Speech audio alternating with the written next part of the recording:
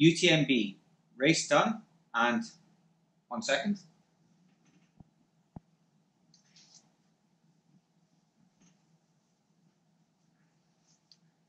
I've got the finishers gilet. So here's a summary of how the race panned out for me. Before I get into the details of the race, I just want to say a hello to the four runners. Four runners that recognized me from the channel. I was, and I apologise if I got your name wrong, but Paul, right at the start, probably the first kilometre, the first person I said hello to when I saw a British flag recognised me from the channel. I think it was Paul. So nice to meet you, and I hope you had a good race. There was Stuart who I was speaking to, and then he had the misfortune of hearing me complain about an incident, which we'll get on to later. I think it was Michael, who was from Ireland as well. I subsequently ran probably 140, 150 kilometres after speaking to these guys, so I do apologise if I got your name wrong. And then from France, Jean Michel. So, hello guys, I really nice to meet you and really good chatting to you and sharing the trails with you. I hope you all had great races. Right, on to a summary of the race. So in this video, I'm just going to break up the race starting at the very beginning before I started and then by each major aid station and just talk you through how the race went for me. So right at the very beginning, I got to the start area about 45 minutes before the race was due to start, and the aim of that was to try and get around halfway in the pack. Um, but it was already absolutely crowded by the time I got there, and it's probably the busiest race start I've ever been to. One of the things which I found quite strange was there's quite a few people had friends standing with them in the kind of running start area, which essentially they just got in the way, in my view. Um, I left my supporters went there by myself. But ultimately, it was very, very busy. There was also a heavy rain shower, so some of these friends and family had umbrellas up and things like that in the runners' kind of start area. Um, but yeah, I was quite happy for the rain. It had been quite humid, so I was hoping that would clear the air a little, and it helped a little bit, but it was still very hot when we started at 6 pm. The build up to the actual start was incredible. The noise, the music, the compares, and the MCs were just like building up the crowd. They're doing the, the clapping, which you have in this sort of Icelandic clap and that kind of stuff. The music was just building and building, and then we were off. And as is often the way with these big races, it was a little bit stop start over the first kilometre or two getting out of Chamonix. But as it's on fairly wide trails and track for the first 10, 12 kilometres, it was okay and able to run at a, kind of your own pace reasonably well for the most part. Because of the rain shower, there was quite a few big puddles as well, so that caused more congestion as people were trying to avoid them so they didn't get wet feet with 170 kilometres left to run. But I've never had a start like that when you're running, and probably for the first two kilometres at least, the crowd were two, three deep on both sides of the road, and it was just an absolutely amazing experience. All clapping, cowbells, and music. So really, really exciting. At the start, I checked my heart rate when I was just standing waiting for it to begin, and it was over hundred, and my resting heart rate is probably half of that. So it was showing just sort of the, the build up and the nerves, the excitement on my heart rate. So on that first section, it's predominantly downhill towards the first sort of little aid station and timing point, which was at Les Houches, and I took it very steady. I went through the time map there at Les Houches about 1400 and something, so I was well down the field at that point, and that was the aim. I'd purposely planned, as I mentioned, to start a bit further back in the field, so I didn't go off too fast and get swept along. And even the small climbs, I have just walked them all right from the start. I wasn't trying to run up any of them. I didn't want any little accelerations. If someone was in front of me who was going slower and I wanted past them, I didn't get frustrated and try and do any sprints. I just took my time and waited for a natural gap to occur amongst the runners and we'd go around them then. And it was all very controlled and just enjoying the experience. It was clear when we got to Les Houches, they hadn't had any rain there either, and it was really humid. And on the next section, there's a climb, which is about 800 meters of ascent in total, and then you drop down more than that into Saint Gervais. And on that climb, my shorts were just absolutely saturated with sweat. It was so hot and humid in that section. My plan had been, from a nutrition point of view, that I was going to run from Chamonix and not make use of the aid station at Les Houches or Saint Gervais and then wait to the next one a bit further up because I thought I could get there within four hours and that's when I then fill up both of my bottles. However, I knew that I had to drink more with the amount that I was sweating. I definitely didn't want to get dehydrated that early on into the race, and so I ended up actually getting a bottle in Saint Gervais, or topping up my bottle in Saint Gervais, just one of them, and then I was still planning to have a bigger stop at the, the, the Contamine aid station a bit further up. So I got into uh, Saint Gervais, the descent was fine, I took it very easy. I got my head torch out, I just had it in the side pocket so it was nice easy access and put that on for some of the darker sections where the trees were a bit thicker as the sun was beginning to set and go down at this time. And came into Saint Gervais, and when I did the course recce, I wanted to be within 10% of that time, not and by that either slower or faster. I didn't want to be going too fast, so I'd average 7.1 kilometers per hour when I did my recce to that point, and I checked my watch and I was on 7.6, so I was happy with that. I knew I hadn't gone too fast to that point. Between Les Houches and uh, Saint Gervais, I think I gained over 300 places, which I was really surprised at. I'm honest, I didn't feel like I was overtaking that many people, but that could be something to do with when you cross the start map versus when you cross the other timing mats and things like that, and just people slowly kind of finding their position in the race. Coming out of Saint Gervais, head torch was then on for the full time. Again, absolute amazing atmosphere in that aid station. Asterix and Obelix were running around, cheering on the crowds. It was uh, absolutely fantastic. And again, you were just lined on both sides of the streets, loads of people out high fiving. And then after that, you kind of got onto a bit of a track, a bit of flat, and then it's a slow, gradual, undulating climb up to Les Contamines. And again, I was conscious I didn't want to go too fast. My plan for the race was very much running that section to that Les Contamines aid station very controlled. And then there's a long climb, and it was going to be a good test of how I was feeling when I got onto that long climb post Les Contamines coming out Saint Gervais was feeling really, really good, and I was going down a, a, slight descent, and then there was a bridge to cross, and it was made out of wood with just like wooden planks. And the runner in front of me, for some reason, it was completely flat, was using his poles. Um, again, at this point, it was completely black, uh, dark, had the head torch on. Anyway, so he was running, got his pole stuck in the gap between the wooden planks, let go of it, and it kind of spring loaded back and hit me in a delicate area, shall we say, and that doubled me over instantly. I was completely winded. I just felt absolutely dreadful. I was ready to throttle the guy, if I'm honest. Um, there's nothing I could do to get out of the way of it because, again, it was still quite crowded at this point with a lot of runners, and it was just literally in front of me. It could not have been worse timing. I attempted partially to hurdle it. However, no, it just it got me absolutely perfectly in the probably the worst place I could have been hit. Um, to be fair, he was very, very apologetic and he was trying to help me, but I just sort of waved him on and I sort of moved to the side of the bridge to try and catch some uh, catch my breath really. Um, I then tried. There was a bit of a climb out of off the bridge, and I got about halfway up it and was trying to catch my breath and ended up throwing up.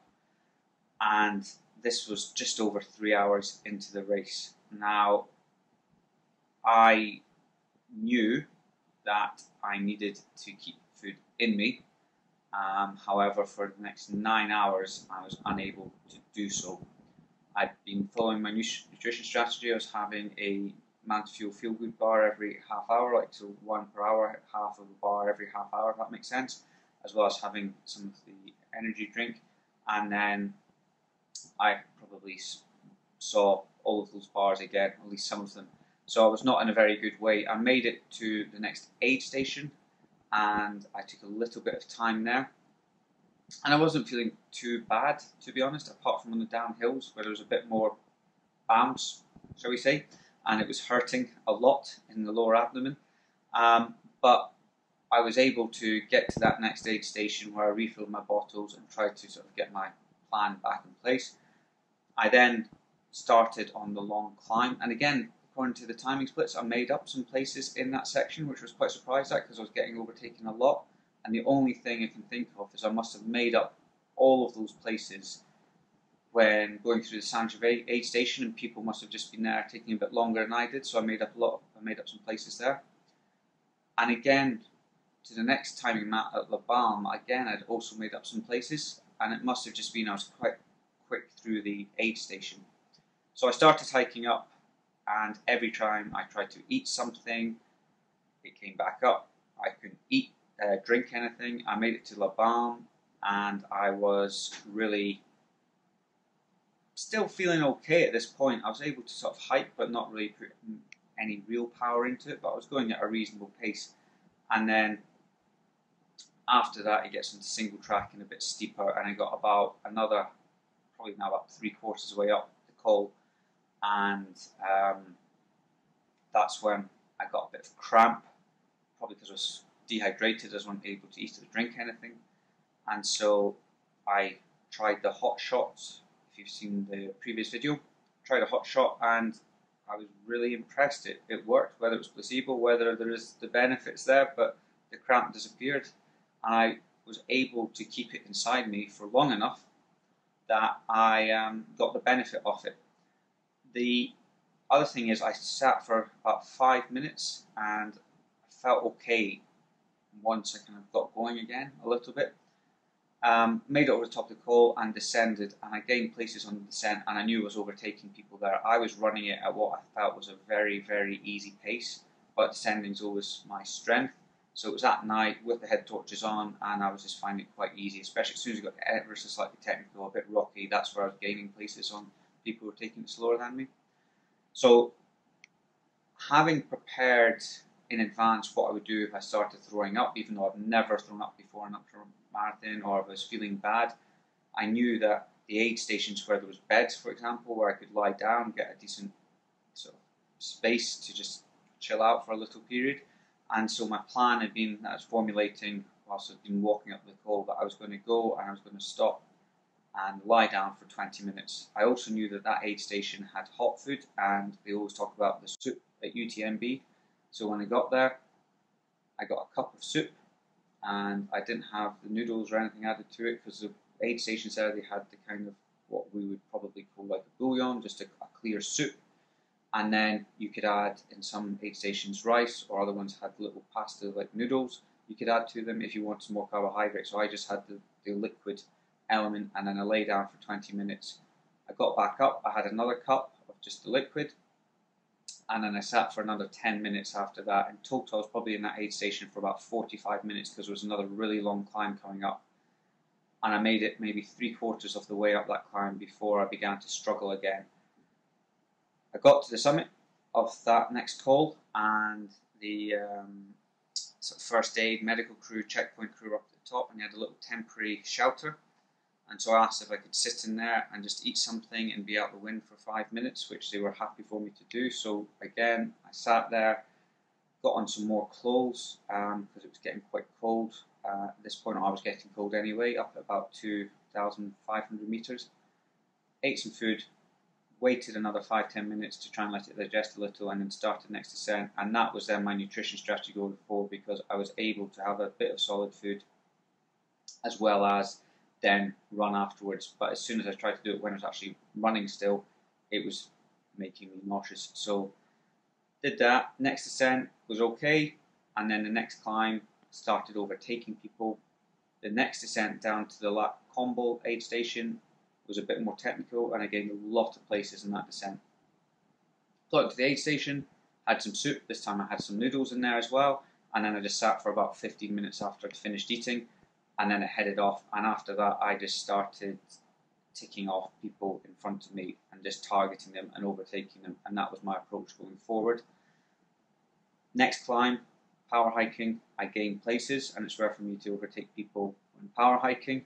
As I mentioned in previous videos, that's my weakness, but I was able to gain quite a few places there, which was a good confidence boost as well. The sun was now up, which was just fantastic. The views were amazing, and I carried on along the next section of undulating trail, and then there's a steep technical descent down into Courmayeur, and basically each timing point I was just gaining places. And I took it very slow actually on that descent because I wanted to make sure my legs weren't trashed for later on in the race. Got into Courmayeur, which is where my drop bag was, and had a lot of food in there, including some uh, rice puddings, which were very easy to digest. So I had a couple of little sash, uh, pots of rice pudding and a few other bits and pieces. I had spare shoes, spare change of clothes, everything really. Didn't touch any of it. My feet were feeling fine. My clothes, no chafage, anything like that. Everything I tried in training was working really well at this point, about 80 kilometers in. So, other than put some sun cream on, nothing changed for the uh, second half of the race really. Same pack, same equipment.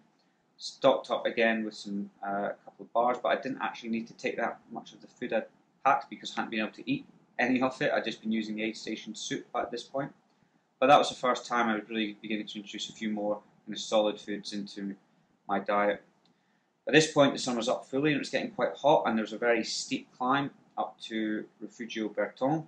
And again, on that climb, I gained a lot of positions and got to that aid station, topped up my bottles, had some food, and then set off. And this time, I probably only waited five minutes after eating before going. And then the next section, I really wanted to run as much as that's possible. Um, when it was flat, our sort of slight uphills and downhills, and I was able to do that. Gained a good number of positions again, and just went through the Bonatti aid station without taking any food down to the next one at Arnouvaz, where I took a bit longer because I knew there was a big climb coming up, so I took in some more food, took my time, and then headed out. Now, I probably spent by this point over two hours just sat in aid stations or lying down in aid stations trying to digest food. But the next climb was takes you up to the highest point of the race, I believe, up over the Grand Col Ferret. So I started the power hike up. I was chatting with a fellow runner for quite a large section of it, Jean Michel. And then my approach to power hiking and these sort of climbs is just try and get to my rhythm and just stick to it. So I was very antisocial, and I apologise if you're watching this. I just kind of put my head down and set off. Got to the top of Grand Col Ferret feeling really good, and I knew there was a very long descent. And that descent from Grand Col Ferret until the climb to uh, Champex-Lac is about 22 kilometres, and it is a bit undulating in places, but probably only gain two, three hundred metres over that total distance. So I knew that I had to pace it well from the start. So it was just about trying to run as conservatively as possible, but also one where I'd be able to take people. And what I've been doing is I've been looking at my timing sheet, and when I left the aid station where I had basically spent 45 minutes and lay down on the bed that they had there for 20 minutes, I left there knowing that I was about 20 minutes ahead of my 46 hour schedule that I'd set out for myself. And then I was slowly catching up on my 40 hour schedule. So when I got to Courmayeur, I think I was 45 minutes behind it or so. And then the next aid station, I was 35 minutes and then 20 minutes. Once I got down to La Fouly, which is about maybe halfway down that long descent, I got ahead off my 40 hour schedule, which I was delighted with. The next one was the 35 hour one, but obviously I was getting further into race and it was getting harder to make up the time difference.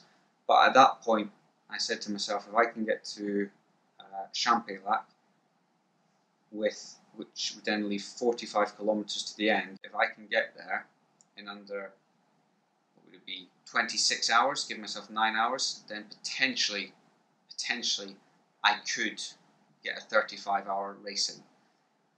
I knew it was a big ask, but that's what I was telling myself. That was my drive. That was my motivation at this point. So I left La Fouly and I just pushed really hard at this point into Champex-Lac and I was aiming to get there, said, for 26 hours and I got there in 25 hours and about 45 minutes or so, which I thought was great because it gave me 15 minutes where I could take food in and then sit and let it digest for 10 minutes and then leave after 26 hours, which is exactly what I did. The next aid station, or the next big one that I was aiming for, was Trient, which was 17 kilometers further on. So over a third of the remaining distance was in that section, and it had one big climb. From Champex-Lac, you've basically got three climbs. In my mind, were three climbs, 800 meters of ascent at each of them. That's not exact, but I was just trying to keep things simple um, that late on into the race. So leaving Champex-Lac, beginning to go into the second night at this point. I didn't sleep in the first night, although I lay down. I didn't sleep at any point during that period, and I was undecided as to whether I was going to try and nap, and I was basing it on if I started yawning or having any hallucinations or anything like that, then I was going to sleep in an aid station. But leaving there, I was feeling good. I knew there was a very slight climb out of the town, and then it was a gradual runnable section, and I told myself I had to run all of that. And again, I was just slowly taking runners one at a time. When I got about halfway down the descent, I knew that with the darkness, I wasn't able to get the descending speed that I wanted. Also, my quads were beginning to hurt a little bit. So at that point, I kind of um, decided that coming into Trient, that that wasn't on. And so rather than risking injury, just be sensible and finish, I'd easily achieve sub 40 hours if I was just sensible and didn't blow up. And if I needed to sleep or anything like that, I still had that option. But I went into Trient Aid Station, which was basically just like a party. There was a DJ playing, there was massive crowds. I was chatting to some of the supporters who had runners in the race and they were there crewing them um, chap from America, and he was supporting his friend who was doing the race. And yeah, again, took some food on, spent some time, listened to some cheesy music. Daddy Cool was playing. I remember that at two o'clock in the morning or whatever time it was. And then the next climb, and that's the first point in the race that I felt tired. Not in I was going to fall asleep, but my legs. I just didn't have the energy to really drive it and push on in that climb and this is uh, probably about 135 kilometers in or so at this point, maybe slightly more. So I got to the summit uh, of the col and was feeling okay, but again, just took it easy on the descent. I just, I really wasn't enjoying that section of the course. I got angry at the climb, I got angry at the descent, and was really happy to get into the final big aid station at Vallorcine. And again, there was just a really good atmosphere. I was chatting to some supporters, had a really good chat with one of the volunteers as well. He was an English guy who was helping out, and just had a really good chat with him as I was eating my food and just letting it digest. So my whole nutrition plan was eating the aid stations. The only thing I was able to keep down when I was actually on the go was the Mountain Fuel uh, gels, the sports jellies that I had with me, and so I was relying on them in between. But essentially, my nutrition strategy was eat more than I really wanted to in the aid station, let it digest for a few minutes, leave feeling overfull and a bit rubbish on the first part of the climb, and then I'd feel great for the second half of the climb, essentially, and hopefully onto the next descent as well. Then left the final big aid station and basically just sort of hiked it up, and I was feeling quite tired at this point. I made it up um, the last big climb, lost a few places there, I think, maybe gained one or two, not too sure. And then there's a sort of flatter section, and then the final descent. And on that flatter section, um, from Tête au Vent to Flégère, I was, yeah, I knew I would get home at this point. I knew I'd be able to get under sort of 37 hours um, without having to push very hard, which I was going to be really happy with. So I just went at my own speed. A couple of guys passed me. I just let them go. To be fair, I probably didn't have much left to push. Um, this was when I was quite far away from the aid station by this point as well, so I was beginning to flag.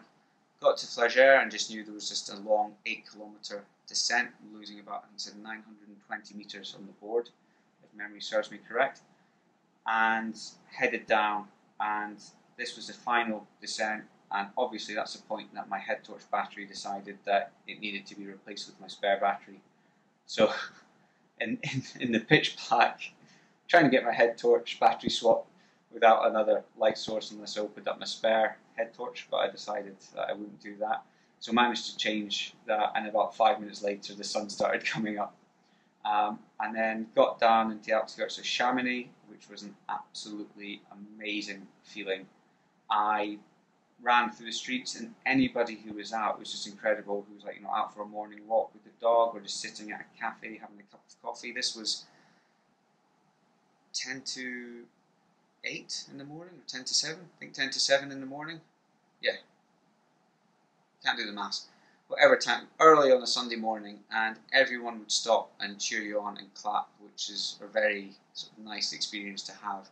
And I came into Chamonix centre and crossed the line. And and have to admit, I got a little bit emotional, uh, not at the finish line, but just before that when I knew I'd made it, just coming into through sort of the streets of Chamonix and some like random people just there cheering you on, stopping what they're doing to cheer you on. Um, but yeah, great. And then I got in and saw my support crew who'd come out to Chamonix. Um, they got up early. They'd been tracking me all night and didn't got about as much sleep as I did. I eat none. But yeah, crossed the finish line, and it was just an absolutely amazing experience. And I was really happy with how I'd been able to manage a rubbish situation early on in the race, and then progress through. And I was also delighted with how my legs felt. But overall, in terms of the race and how it panned out, I think that now you know it's a good story to tell. I'm not the slightest bit upset that I didn't achieve 35 hours. As I said, my goal was to finish the race, my first 100 miler, and to feel that strong in the race was just absolutely fantastic. Some of the key takeaways from the race for me was one that the training had obviously worked really well. Feeling that strong that late into the race and actually be able to sort of you know race it rather than just hike to the finish felt really, really good. Secondly, I was delighted by the fact that I was able to go two nights without any sleep and I didn't really feel impacted by that. To the point that when I finished, I then went about just a normal day. I went out for lunch with my family and friends. I then went and got my free burger, courtesy of Strava. I then went out for dinner. So, yeah, I did have sort of three big meals um, which was a fondue, and it was only about 9.30, 10 o'clock that I started feeling tired, and then I slept for about eight and a half hours, but then got up feeling fine today, so that was a real positive as well, and I think just trying to bank the sleep in advance was a real benefit. I passed so many people just lying at the side of the trail trying to sleep with a waterproofs or survival blanket on, trying to stay warm. At no point did I feel that I needed to do that in any way, shape, or form. Even in the aid stations, um, the other one I was really happy about was just the mental side of things. I didn't once consider dropping out, and I didn't once feel that I wanted to stay in the aid stations or, you know, spend longer there. I was always just keen to get going and get back out on the trail. Having the ambitious goal, that 35 hour target, was a real motivator for me for the first part of the second night. Um, and then mentally, I knew that when I got to Trient, there was just two climbs left, and by the time I was in I knew that I was going to finish the race essentially, unless you know I then injured myself. So those aspects of the race went really well. I will have a long think about it um, and refine things in my head and work out sort of little tweaks and improvements for the future. But overall, as a learning experience and as a total kind of experienced a race 100 miles or more than 100 miles. It was just absolutely fantastic, and I don't think I could have wished for more. There was about a 40% DNF rate this year. People were saying the conditions were tough. I think having the opportunity to train in the heat was probably a massive benefit because I didn't feel it was actually bad conditions. There was also a huge thunderstorm, but it happened behind me. It was over Grand Col Ferret, and I was luckily enough down before that, so I didn't get any rain the race. But I think if you've been caught and I've been an hour behind where I was at that point in the race, then that would have been tough because it would have been beginning to get dark and you would have been wet and cold coming into a nice warm aid station. So the temptation to drop out might have been higher at that point. So that is UTMB 2019 done. Box ticked. Absolutely delighted with how it all turned out. And now on to the next one. End of October for me is the next race, 100 kilometres. But it's going to be a lot of rest first, and I'm not going to give it any thought for a good few weeks before I uh, get back into my run training. Once again, just like to thank you all for the support, all the messages. I know lots of people were tracking me and you know enjoying that. I know I was concerned as well at the start as to why I was so low down in the field and why I hadn't left a certain aid station because I was lying down and then eating soup. Um, but yeah, I really do appreciate it. Uh, UTMB 2020 probably not for me. Maybe in a few years' time I might revisit it again. I think if I looked at the total time spent in aid stations and half that easily, that would probably save me a good hour and a half, two hours, and then there's probably more time to be made up as well. And if I could finish as strongly as I was all the way to the end, I could have been maybe an hour and 50 quicker just in that last section, let alone the rest of the race. So there's definitely opportunities there to get faster. But for me, this was a big kind of uh, goal for the last three, four years, getting the points and getting into this race. So I'm glad that it's been completed, and now I'm going to take some time because there's some other races on the to-do list that I need to begin to focus on. So thanks for watching. If you enjoyed this, please give it a thumbs up and make sure you subscribe to the channel so you don't miss out on any future content. And I'll see you next time.